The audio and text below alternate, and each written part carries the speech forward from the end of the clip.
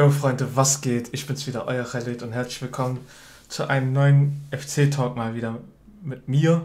Ja, Freunde, fünfter Spieltag sind wir mittlerweile angekommen.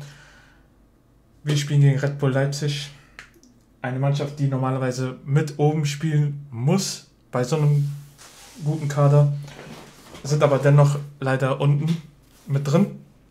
Und ja, wie soll man anfangen? Also, er will nicht, hat jetzt nicht so gestartet, wie man sich halt erhofft und äh, hat, was aber keinen Grund hat. Und ja, ich denke, die werden sicherlich da im Laufe der Zeit, also im Laufe der Monate, Wochen, werden die langsam wieder hochkommen, da bin ich mir schon sicher. Und äh, ja, aber dennoch brauchen wir Punkte, was ja auch wirklich nochmal schon wichtig ist. Ne? Und ich denke, sicherlich einen Vorteil werden wir auf jeden Fall haben, sie zu schlagen. Ganz klar, weil ähm, in der Woche habt ihr ja Champions League wahrscheinlich auch gesehen und Red Bull Leipzig hat auf jeden Fall eine dicke Niederlage halt einstecken müssen. Und gegen City bei so einem, bei so einem Kader, die die haben, bist du halt gezwungen, halt wie Chelsea den Bus, den Bus hinten zu parken. Und ja, und für mich äh, City, Chelsea und Bayern ganz klare Favoriten schon für die Endfinals äh, in der Champions League, aber das ist anderes Thema. Und ja, Freunde, was mir halt in fast allen Spielen aufgefallen ist äh, bei Red Bull Leipzig, ist, dass sie hinten eine riesen Lücke haben, seit Upa nicht mehr da ist. Natürlich ist, spielt er jetzt keine Rolle mehr, der ist jetzt verkauft, klare Sache, aber man muss halt bedenken, Upamecano war halt die Mauer hinten, wo wirklich, wo wirklich hinten gar nichts durchkam, so, wenn ihr versteht, was ich meine. Und aktuell habe ich jetzt nicht so genau die Innenverteidiger im Kopf, außer Halstenberg und Mokiele. Aber da sind ja noch andere Spieler mit äh, diese Saison jetzt gekauft worden. Und da bin ich mal gespannt, wie das Spiel auf jeden Fall gleich sein wird. Und ja, dieses System auf jeden Fall, was Nagelsmann halt hinterlassen hat, ist ein komplett anderer unter Jesse Marsch, so, wisst ihr, was ich meine? Und das dauert halt, bis dieses System halt etabliert wird. Und ist halt nur die Frage der Zeit, was, wann die halt wieder oben sind, ne? Wie gesagt, also die werden auf jeden Fall im Laufe der Wochen bestimmt wieder hochkommen, da bin ich mir sicher. Und ähm, ja, jedoch bin ich überzeugt, dass wir aber auch, auch einen Sieg heute äh, mitnehmen können, wenn wir das nötige Selbstvertrauen auch haben, was wir definitiv ähm, präsentieren werden. Und ja, toll. Naja, egal. Ähm, ja, Keins ist aktuell ja gesperrt und Lempalle ist verletzt am Sprunggelenk. Daher bin ich mal gespannt, wer für Keins spielen wird. Ich hätte gerne Ubus da gesehen, aber Ubus ist leider mit der zweiten Mannschaft unterwegs. Normalerweise wäre das jetzt die Chance, so die jungen Talente mal ins kalte Wasser reinzuschmeißen, damit die mal diese Erfahrung sammeln.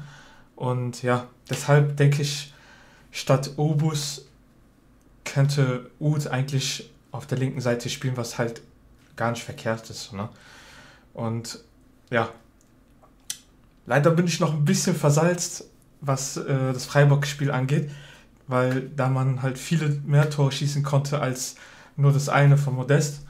Und ist nun mal halt passiert, und mit aktuell sieben Punkten bin ich auch absolut mega zufrieden. Also, dass das so schnell ging nach fünf Spielen, hätte ich auch überhaupt niemals gedacht. Ganz klar.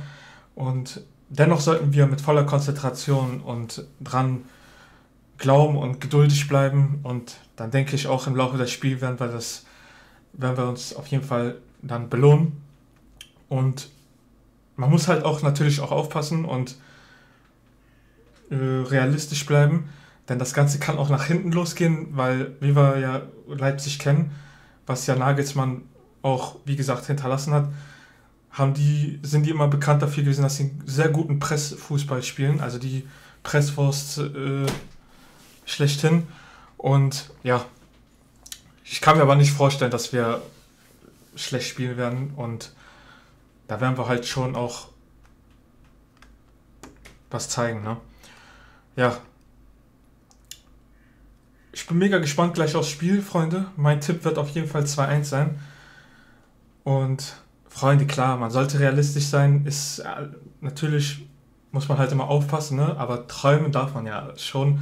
Und deshalb denke ich 2-1 FC und gib ihm, Alter. Ne? Also auf gut Deutsch gesagt, sage ich jetzt mal. Ja. Aktuell, wie der ein oder andere Bescheid weiß, vorbereite ich ja auch noch, etwas läng äh, noch ein etwas längeres Video zu FIFA 22, Freunde. Und ja, es sind vier oder fünf Tage noch, äh, bis das Release äh, endlich da ist. Davor noch Web-App und äh, so alle Infos werde ich aber noch auf jeden Fall ähm, im nächsten Video bekannt geben.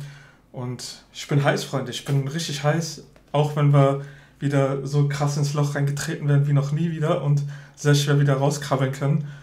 Bin ich gespannt, wie, wie das jetzt sein wird, weil das wird wieder eine RTG-Saison. Ich lade jeden herzlich ein und jeden, der auch nicht so gut ist, dem helfe ich sehr gerne, gar kein Thema. Und ja, das aber alles im nächsten Video.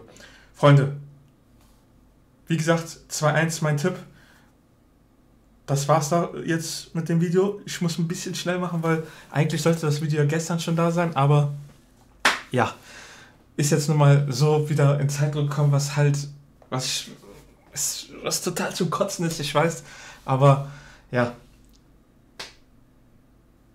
das dazu, Freunde. Ich hoffe, ihr drückt uns die Daumen, also die, die kein FC-Fans sind und gerne mal hier so zuschauen und äh, euch diese Videos gefallen das freut mich natürlich, aber ich hoffe, ihr drückt auch mit die Daumen und hoffen wir, dass wir FC gewinnt. Natürlich auch eure Mannschaften, die in der Bundesliga spielen.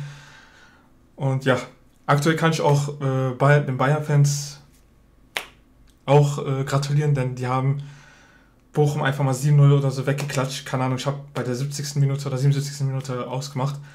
Und ja, Freunde, für die, die das Spiel gleich gucken, wie gesagt, viel Spaß noch. Ne? Und drückt mit uns die Daumen. Da würde ich sagen, macht's gut, Freunde. Euer Khalid ist draußen und ciao.